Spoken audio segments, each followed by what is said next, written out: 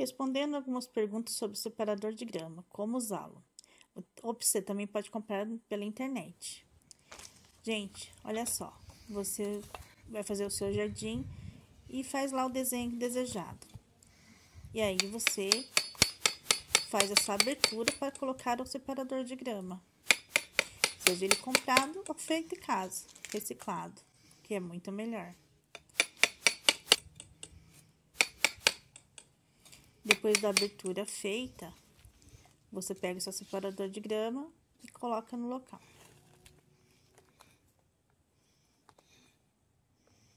Assim, você está separando uma grama da outra. No caso aqui, eu estou separando a grama preta dessa grama comum. E você pode fazer vários desenhos ao seu gosto. Vai da sua criatividade. Espero que tenha gostado. Deus abençoe a todos e tchau!